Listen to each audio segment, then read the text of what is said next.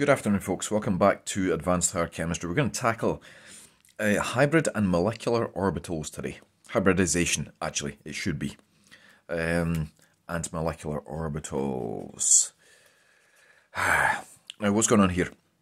It's it's SQA, pages 78 to 81. It doesn't look that big, but there's some big concepts in here. So, uh, it's not like me, I know, but I thought I'd plan in advance and try and split this into four sort of areas. Number one, very brief revisit of atomic orbitals and covalent bonds, super brief. Number two, why uh, atomic orbitals have to be scrapped when it comes to any molecule whatsoever. So, all those nice sp d orbitals and stuff apply to isolated atoms in a vacuum. Not the real world. Um, so, there are two reasons we have to scrap atomic orbitals when it comes to building molecules, like, for example, the carbon dioxide I'm breathing out just now. And we'll come back to what they are. Number three, how molecular orbitals actually form and overlap with each other, and why the 1960s representation of a double bond, which showed it with a line and then a dotted line, is actually superior to the modern representation. Because we're about to see that these two bonds are most definitely not identical to each other. And lastly, on the subject of molecular orbitals, we'll have a look at how they manage to create all these wonderful pigments uh, in the real world. The wonderful blues and orange of these pens are a result of molecular orbitals interacting with light. So I think what we'll do first is, as I promised, we'll have a brief recap of atomic orbitals. It is props day today. I've got many, many props here today. These are uh, representations of s orbitals, these nice little pink blobs. Uh, and as you can see, they are spherical, like we learned before. p orbitals, on the other hand, more of these hourglass figures, one in, let's call that the y direction, one in the x direction, and of course one sticking up into the camera in the z dimension. So, yeah, s orbitals, p orbitals, yeah, everything's fine. Everything's fine. Um, a brief mention of, uh, if you're not sure about these, by the way, go back and have a look at some of my earlier videos. Um, a brief mention on covalent bonds. A covalent bond is defined as when two half-filled orbitals overlap with each other. Now, in previous years, uh, we showed them, back when life was simple, we showed it as that, for example, for H2. Uh, and that is surprisingly accurate, of course. If we had two of these, we could simply mash them into each other and they would overlap and form a region of space containing two electrons uh, that is a full single orbital, uh, a covalent bond, in other words, effectively. Um, where am I going with this? Yeah, I'd like to have a look at why we need to scrap this representation of atomic orbitals. If, for example, we looked at one of our favourite elements, carbon. Carbon is 1s2, 2s2, 2p2. Now, of course, that means that there are in the p electron, p orbitals, I apologise, there are three p orbitals, px, py, pz, and there are two electrons. Now, there's a couple of problems here, because if we assume that we were going to bring in some electrons from another atom, say, oh, hydrogen, uh, and share these orbitals, then you would only ever get carbon and hydrogen and that. I suppose if you had a dative bond, maybe you could bring in something else, you know, uh, and do that. But even that uh, does not explain the shape, because these are three orbitals in space. And if we analyze methane molecules, we get our normal tetrahedron. Now, there's obviously four involved there, just in case you haven't been paying attention. So this is, by the way, this is empirically derived. This is absolutely the truth. Because if you freeze uh, methane and shine X-rays through it, there's something called X-ray diffraction. Used to be in the course, taken out. Taken out? Sorry, taken out. Um, you truly do get this. And we use the VS-EPR, valence shell electron pair repulsion theory, and we find that the bond angle um, is 109 and a half degrees for a pure tetrahedron. Um, in between all of these hydrogens. So this is absolutely true, and, but it doesn't fit with this. So there's two things going on here. Number one, the orbital, the box notation doesn't seem to tie up with what you actually find. And number two, even if this was true somehow, this would be just three hydrogens able to attach, not four. So what's going on? Those are the two reasons uh, that we need to develop the theory of molecular orbitals. Just before we leave molecules behind, by the way, before we're done today, I'm hoping you will um, understand why this is the tetrahedron shape. Everybody just accepts it. Why is it not flat, for example? Why is it in three dimensions? And of course, when you build, the mods are so good because when you build this ethene molecule, you can see it is planar.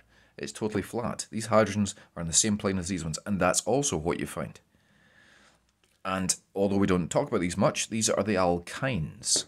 So this is a triple bond called ethyne, and this is a linear molecule. The two hydrogens are directly in line with each other. Um, and again, we'll have a look at why that happens. Excuse me, just let me tidy up my props a bit. So let's have a look at how atomic orbitals can hybridize with each other. Sounds a bit dodgy. Um, to form molecular orbitals. Uh, if we had, for example, in the case of, let's stick with carbon, because we know we've got to be making four bonds. Okay, we know that, that's for sure. Um, so how is that, how could that become possible? Now, if we look at our 2p's again, we have three 2p orbitals, and we also had a 2s orbital. So this was our 2s, these were our 2p's, and in this, in these orbitals, we had one, two, three, four electrons. Effectively what we used to call the four electrons in the second layer. Remember that when life was, was easy? Um, so what happens is we are fairly confident that these orbit orbitals, these orbitals will hybridize with each other and you will end up joining this orbital with this orbital and we will make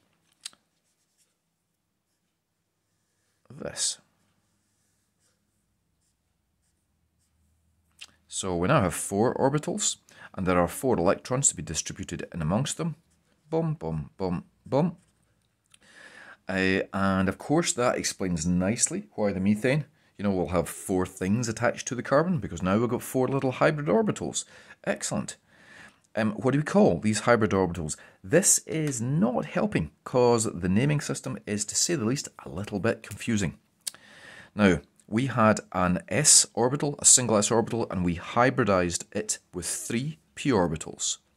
So these are called sp3, and I've chosen to put the 3 there, which is sort of where you would uh, like previously we would have said, like you know, two S two, two P two. Now, in all the other forms of notation, irritatingly, that's the number of electrons that are in this particular orbital. That is not true here. Uh, all it's telling us is that there is one S and three P's hybridized together. Now, if you do that, you end up uh, with four orbitals in space that are of equal energy, so they're degenerate. Each one contains one electron, so what you can do, of course, is you can bring a neighbouring hydrogen atom in. The hydrogen atom can donate one of its, its one electron, sorry, into that, and we can start making, oh yeah, look, we make methane. Um, let's, uh, let me gather my thoughts for a second. Yeah, let's talk briefly about how these orbitals overlap. Um, so we have four sp3 orbitals, as I said on here, um, and they can overlap end on with incoming atoms. So we could join a hydrogen to this, or of course, I suppose, we could join another carbon to it. Um, excuse me, sorry about that. Good audio background sounds. Sorry about that, guys. So we could join another carbon to it, and then we can rinse and repeat. You know, we could have other, other sp3s coming out, four other sp3s coming out of here, and we can just form what you would call normal single carbon-carbon bonds. So, how's this done? This is done by an end-on overlap. Pay no attention to the rest of this molecule. An end-on overlap from sp3 orbitals. This has got one electron, this has got one electron, boom. You create a normal, whatever that means, single bond. So let's put that in text form for a second. So yeah, in normal single bonds, so where you could have CC or CH or C, whatever you like, one of the halogens, uh, these are formed by end-on overlap between orbitals. Each orbital uh, contributes an electron um, to form the bond. Um, and you're probably saying, well, what else is the option? Of course, that's what happens. Yeah, uh, that is true for single bonds. And I was hinting that there might be other ways that they can hybridize with each other. And that's just what we're coming back to next. But before we do that, we've got a term for this sort of normal single carbon-carbon bond. It is called a sigma bond, given that symbol there. So a sigma bond is caused by end-on overlap of half-filled orbitals forming a covalent bond. Grant. So, what are the other options then? Well, if I can find my orange pen, I'll stick with the same colour code as I had last time.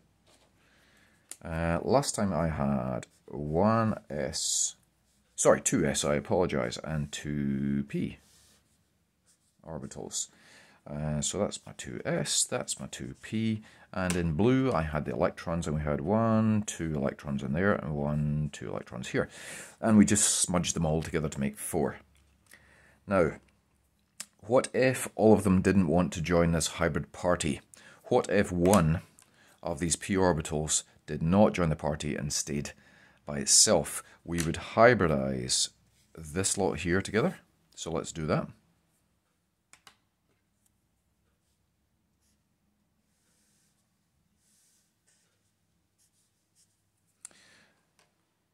And you would have a standalone 2p.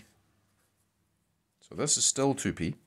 Nothing's changed there. We still have four electrons, so let's spread the four electrons out like that.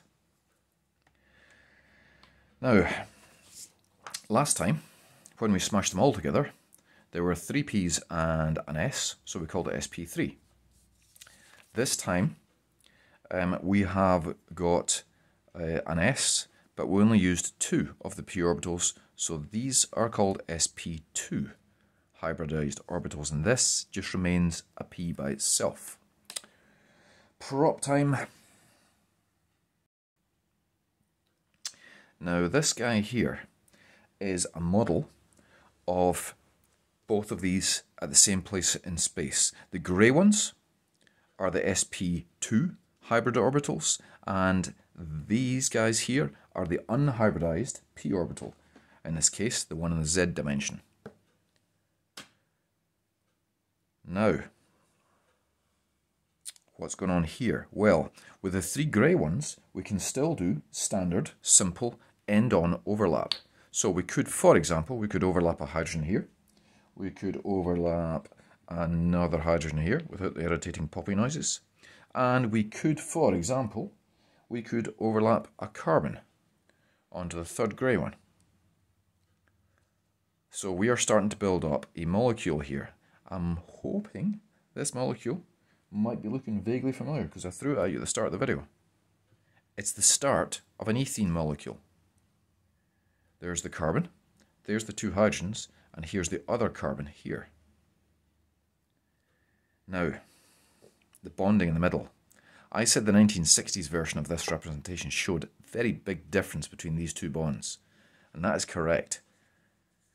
Because what's going to happen here is best shown in diagrammatic form. And I've got one that's just fallen off my desk. Excuse me.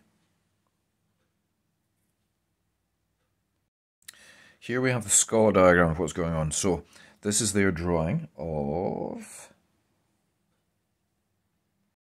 This is their drawing of my model here um, where this is a hybrid orbital, so are these two.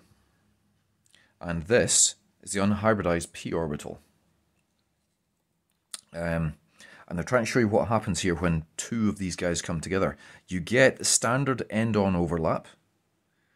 Um, and what does this p orbital do? Well, please remember that there is one electron in this p orbital. Remember that? That single electron the problem here conceptually is that that electron can be anywhere within this whole p orbital. There's one electron shared in the whole thing. So there's one electron here somewhere. This used to be easier when we did uh, Heisenberg's principle. And there is also one electron in here. And there was one electron, technically speaking, there was one electron in all of these and one in the whole thing here. So we can still form four bonds. It's just that one of the bonds is going to be a really weird one. Um, you've probably skipped ahead and looked at this in the diagram, but what's going on here is the two unhybridized p orbitals have decided to smudge sideways into each other. So this whole thing here is your second bond. This is your first bond, and the whole thing here is the second bond. So that is the true nature behind, as we draw it, that. So one of these bonds is a standard end-on overlap, and the other bond is a sideways overlap. So one of these bonds, if you remember correctly, we called it a sigma bond. Uh, and one of these, the other bond, is the different type. Now, you're probably looking at this. It's a pi bond, absolutely.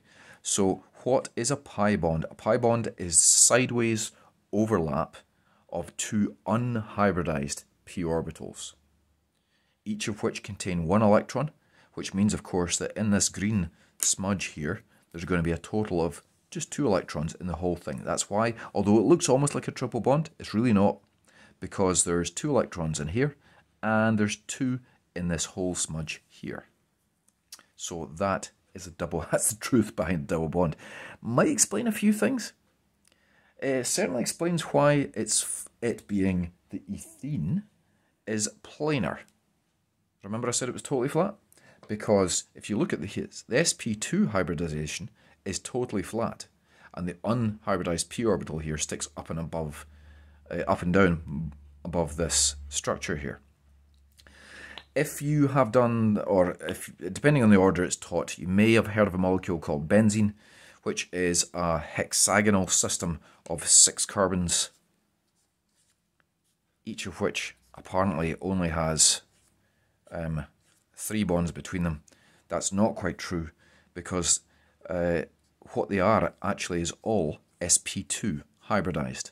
A benzene ring is a complete sp2 hybridization ring, and the fourth electron, each of these little p orbitals that stick up and below the page, I'm not going to try and show this in two dimensions, but they all smudge into each other. So there is delocalized fourth electron in all these p orbitals. They actually form a hybrid that goes around the entire ring. That's why we represent benzene with the circle there because there truly is a single pi bond that goes around the entire structure. It's just one of the reasons that makes benzene special and that's why it crops up all over the place in nature. It's incredibly stable. And that's why it's totally flat as well, by the way. If you do benzene later on, or if you've done it already, you'll know that benzene is a planar molecule because it is sp2 hybridized. How's this going? Is this making sense so far? Uh, we need to write this down, don't we? because we said on our last sheet, we said that a, a sigma bond was an end-on overlap. Oh, if I can find the last sheet, there we go. Unprofessional, hey, there we go. So a sigma bond was uh, caused by end-on overlap. So let's do a pi bond then. Let's add a pi bond to this. So a pi bond, um, that would be, there's no point in watch me, I'm not going to make you watch me write this out. So the SQA quotes it as side on. I don't know what that phrase means, side on. Sideways overlap of two half-filled p orbitals forming a covalent bond, of course, because a covalent bond was a shared pair of electrons in space. Um, it's just that if you look at the actual structure of it, it looks really weird. I've got a nice diagram here from Tinternet of the same idea. So here are the sp2 orbitals, and that's them overlapping there. That's your sigma bond in orange there. Here, just for clarity, are the p orbitals sideways overlapping just by themselves, and they've reverted the sigma bonds. By the way, can I remind you these are all sigma bonds? Um, and a single pi bond amongst it. And this is the whole shebang. This is everything all uh, on top of each other. And that's the true nature of ethene. That, of course, is why it's so reactive. That's why you can take ethene and react it with bromine all the way back in third year uh, and then magically this bond breaks. And you stick a bromine on there and a bromine on there. And Now they're all sigma bonds. We got rid of the pi bonds because pi bonds are easier to break than sigma bonds by a long way. That's why you can't simply do the same reaction again and just break the other one because the other one is very different to the first one. I think I've covered SP2 hybridization there. And if you pick up the tone of my voice, I'm about to say there might be one last option. So the very first time round, we took the 2S and all three Ps, and we formed SP3, four of them. Last time, we formed SP2s, only three of them this time, and this remained unhybridized. You can probably work it out yourself what the last option is. Let's squeeze it in here. So the last option now is we go back to where we started with carbon. Pops, uh, pop our four electrons in the second layer. And this time we're going to take the S and just one of the P's. So these are called sp1 hybrid orbitals. And this time we've got two of the p's, which don't want to join this party. This is a 2p, call it 2px, just for easy counting. And this one is 2py, basically, you know, a different dimension. 90 degrees to it, actually, isn't it? Um, and we have to fill in our four electrons again. Please remember there are, we're not pulling electrons out of a hat here. So, one, two, three, and four. Now, prop time again.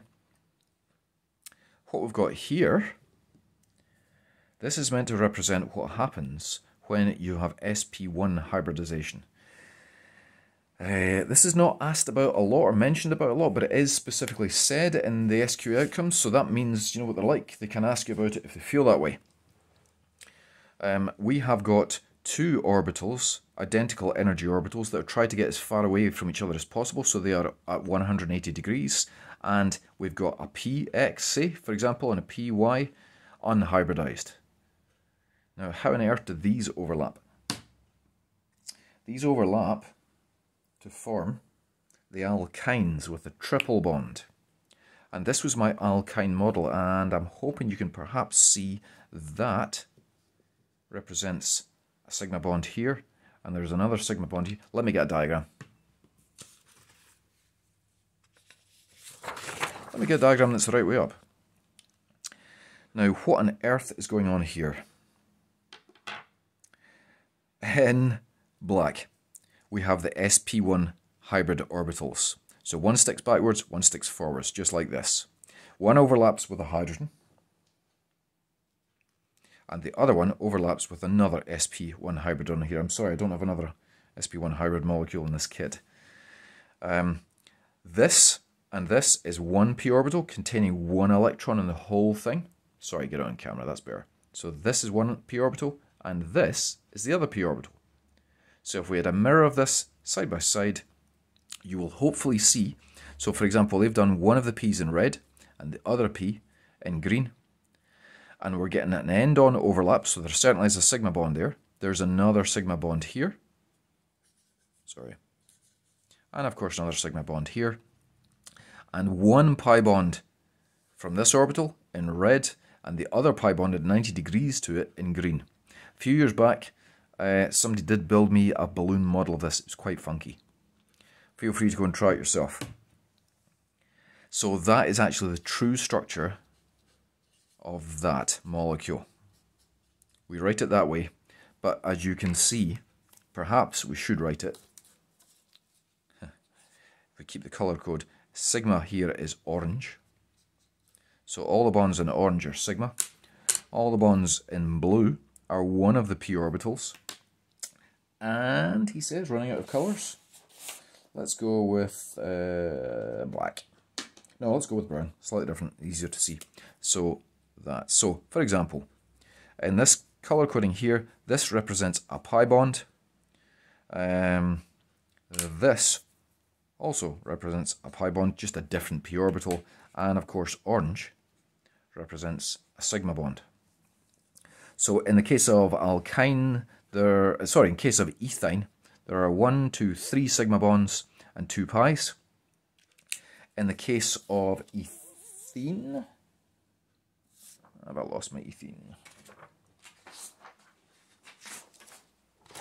In the case of ethene, yeah, let's do the colour code correctly. Yeah, let's redraw ethene like we should draw it.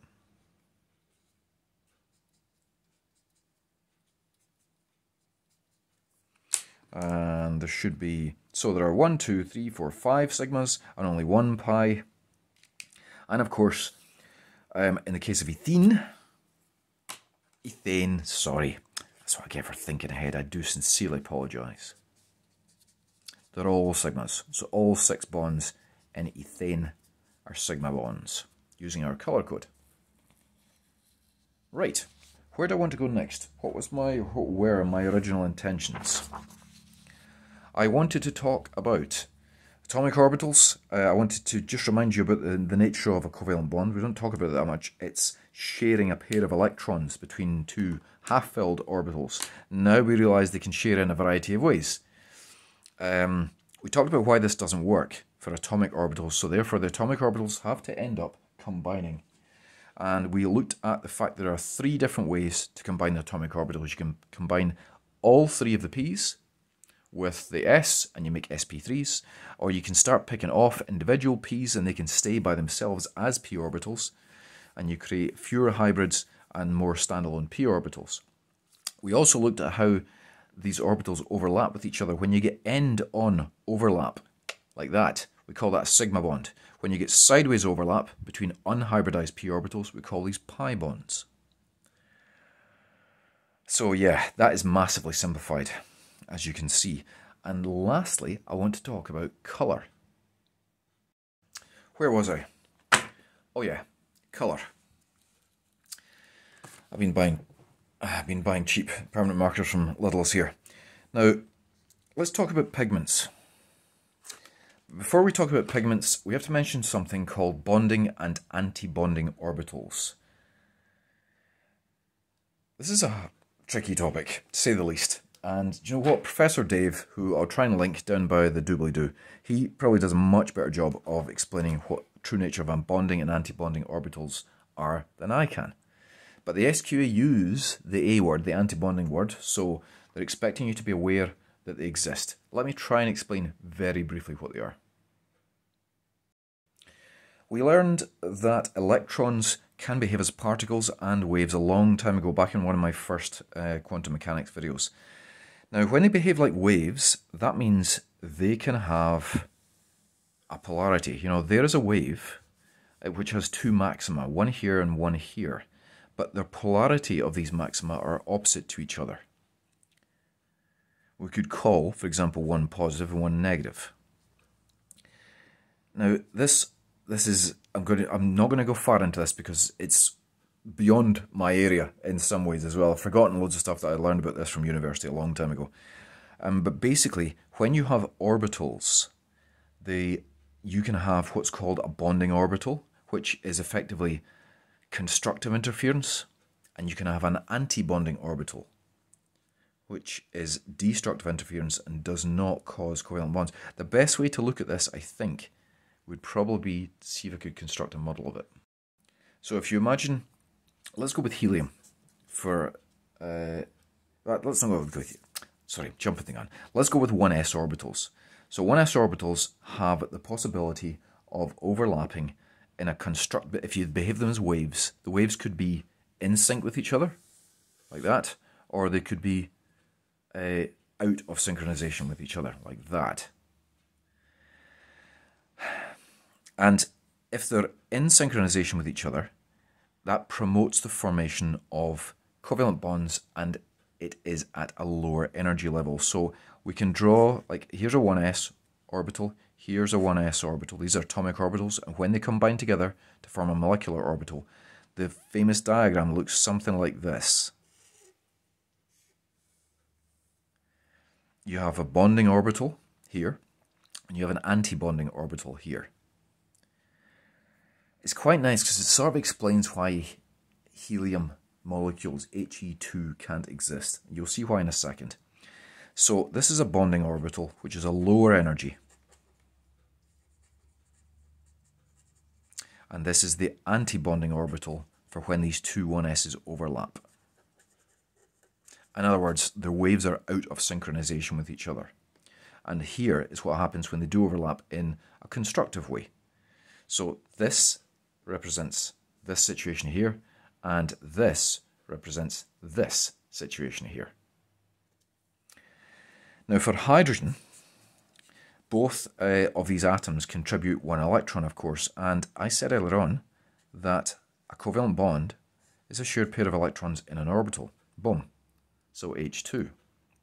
If you tried to make He2, you have four electrons now, and you'd have to do one, two, three, and four. So this wants to form a covalent bond, but this orbital here destroys the covalent bond, so that's basically one of the reasons you don't get helium-2. But I'm not going to go any further into that, um, because it is really complex. I'm going to leave antibonding orbitals there. What I am going to do is go back to the SQA and see what on earth that's got to do with colour. Excuse me a second. Now, the SQA want you to be aware of a couple of terms here.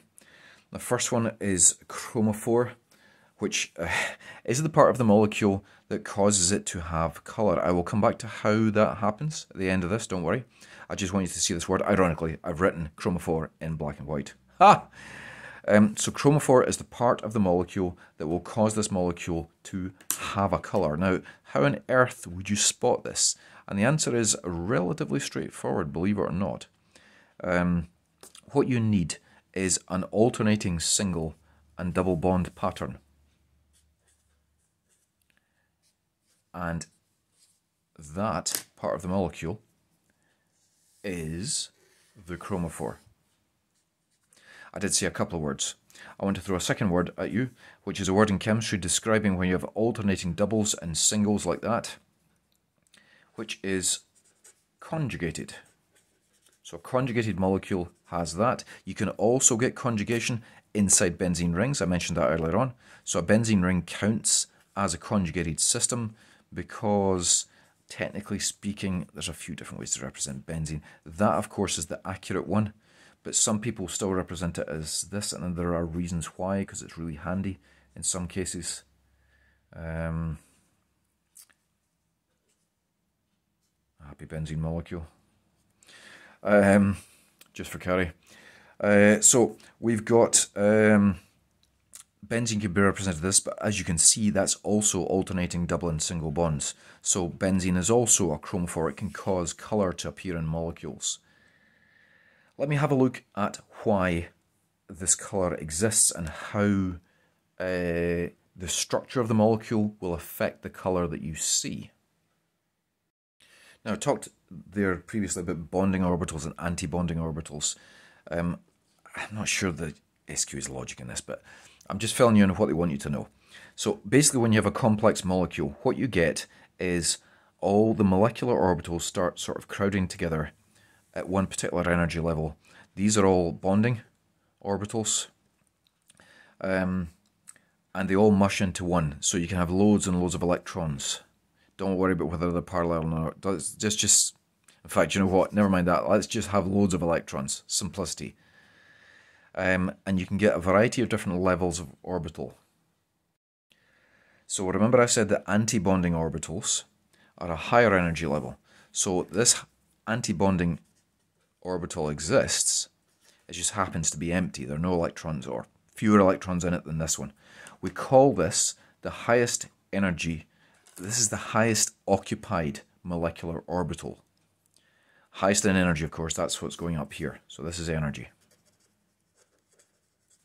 And this is the lowest unoccupied molecular orbital. There are no electrons in it. Now the SQA have chosen to use these two uh, acronyms for the highest occupied molecular orbital and the lowest unoccupied molecular orbital. Highest occupied molecular orbital, lowest unoccupied molecular orbital. And what the SQAs say is, and they're right in this case, uh, is that incoming light, so if we were to fire ourselves, if there was a photon of light incoming, um, it might hit one of these electrons, and promote it from the highest occupied molecular orbital up to the lowest unoccupied molecular orbital. So that electron gets promoted up there, and of course the energy that's in this particular colour of light goes missing. Leaving you to see the complementary colour in the data book, in the, the colour wheel in the data book. I can never remember what page that is. Let me just go and find it Page 20 in the data book is your colour wheel, guys. And the last thing the SQA want you to know is that the length of the conjugated molecule, the length of the chromophore, actually, sorry, the length of the chromophore in your molecule affects the energy gap here. And the longer the chromophore is, the smaller this energy gap becomes. So if you had a molecule like benzene, for example, benzene, uh, going back to benzene, just to keep it happy, eh? So benzene has a conjugated system. Let's draw it. I know it's not double bonds, but let's draw it as if it was. There's your six carbon atoms in a conjugated system. Um, that is a very short chromophore. Therefore, the energy gap will be massive. It will absorb light, but it's absorbing in the ultraviolet region, which we can't see. Um, so in order to get a coloured molecule, what you need to do is start elongating your chromophore, just have a longer conjugated system. And you'll get this energy gap down to the point where it's absorbing blue light, which is the highest energy light, of course. And if it's absorbing blue light, according to the SQA's colour wheel, reality, by the way, a little bit more complex, but let's stick with what the SQA want you to know. So, um, where's my colour wheel? Page 20. So if we, there we go. So if we absorb, in fact, let's go with violet, actually, as the highest energy. Um, no, they say purple, in fact. Purple is the highest energy. They're quoting purple as between being 380 and 400 nanometers. So if the purple is absorbed, then you will see green. If we made this conjugated system even longer, don't worry about the angles. Uh, let's fire a few more double, alternating double and single bonds on my conjugated molecule here. We will start, the energy gap starts to come down even more. We could perhaps absorb green light for this one. And if we absorb, uh, say, bluey green light, we would see this as a red molecule. Uh, and I'm hoping you'll see um, I'm hoping you'll see the connection there for. So basically the shorter uh, the conjugated system, the more uh, the, the, the smaller this energy gap becomes and we can start to absorb photons of visible light and whatever photons go missing you see the complementary colour on the colour wheel on page 20. Right, wasn't convinced that I did a good enough job in that last section. So just a very brief recap in one shot here. So this is our shorter conjugated system. Sorry, interrupted by the phone there. I, I don't think I did a very good job. So here is hopefully the whole thing on one sheet. Here's our conjugated system of different lengths. Here's a shorter conjugated system. That corresponds to a higher energy gap for the electrons to be promoted out of the occupied molecular orbitals, those are the bonding ones, into the unoccupied molecular orbitals, the anti-bonding ones. When you have a longer conjugated system, you have a smaller energy gap. And what we've got is two different situations for which colour is being absorbed and therefore the one that you see. So for example, if we have a higher energy gap, we may absorb a blue light. Can I find a blue pen? Yes, I can. So if that absorbs blue on our SQA sheet, you would see yellow. Although again, you know, in reality, it's a bit more complex than that. I don't even, ironically, I don't know if you can see that yellow. Ha! Now, when you have a longer energy gap, um, you have a, sorry, a longer conjugated system, you have a smaller energy gap, that may well absorb something like, for example, um, greeny blue. Do we have a greeny blue? This is close enough. And I'm saying greeny blue because it's one of the things, oh, green, I've forgotten how to spell uh, is one of the colours that's mentioned on your actual SQA chart. They might, of course, give you a, a wavelength like 495 nanometers, for example. So you find 495 nanometers, find what's opposite it, and the answer to that is red. That would be what you would actually see. Right. Sorry for the epic video, guys, but there's quite a few complicated things in this. What on earth can the SQA actually ask you?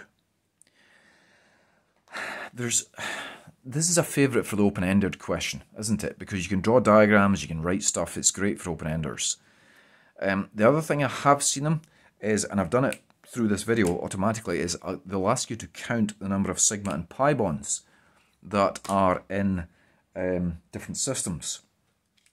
And the very last thing that I've seen them ask you is to explain the nature of, say, a sigma bond versus a pi bond, as in one is end-on overlap, one is um, sideways overlap. Diagrams probably help you in terms of explanations there. But thank you for listening to this epic ramble, folks. Hopefully it's been of some help. Bye-bye.